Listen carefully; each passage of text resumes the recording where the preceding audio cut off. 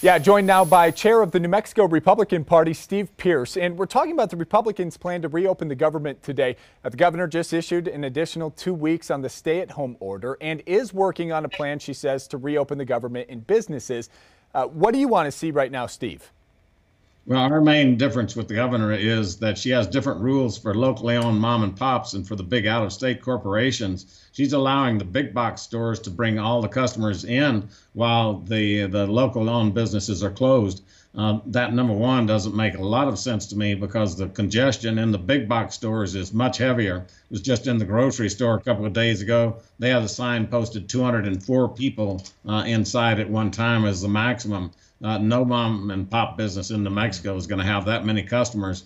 And so we have uh, said continuously that we're going to speak up for the small guy, for the man and woman who's making their business work in this state.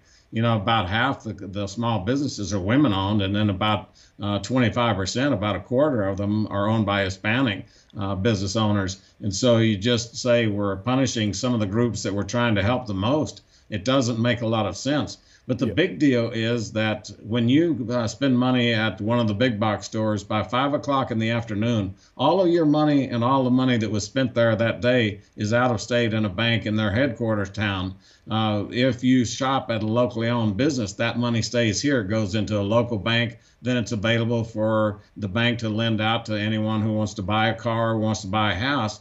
But when we starve the state for capital, we're doing long term damage to it. And I don't think that the governor is considering that long term damage in her executive orders. So we're simply uh, urging fairness. We'll leave it to her and her uh, medical team to determine what is safe, what's not safe. But we feel like that the rules should be the same for small business as well as the big uh, out of state corporations. And we're talking about because food is essential service, places like Target or Walmart that have food it's not just the food aisles that are open. You're saying it's because the entire store is open. They're open for business, their clothing department, etc.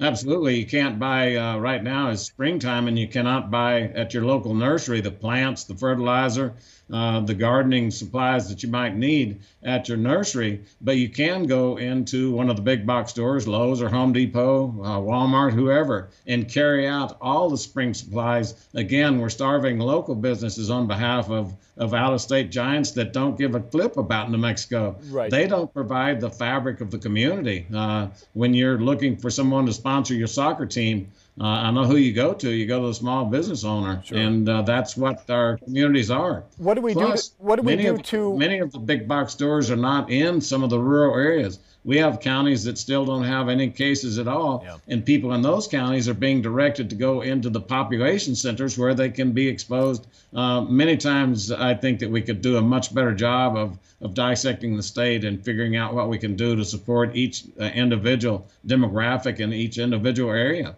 I was just going to say, what do we do to fix that, though, in the Albuquerques and the bigger areas that have the big box stores? I mean, should we open up more businesses, are you saying? Well, again, uh, we're uh, the governor is shutting down businesses in those small towns and telling people they've got to drive to the big box stores. Uh, there's one woman that we were talking with last week.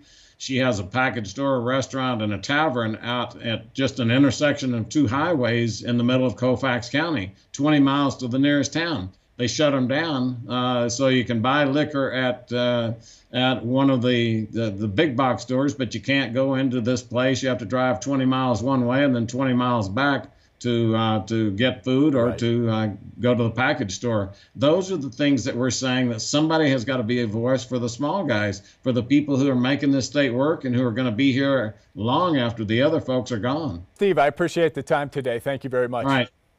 Thanks, Todd.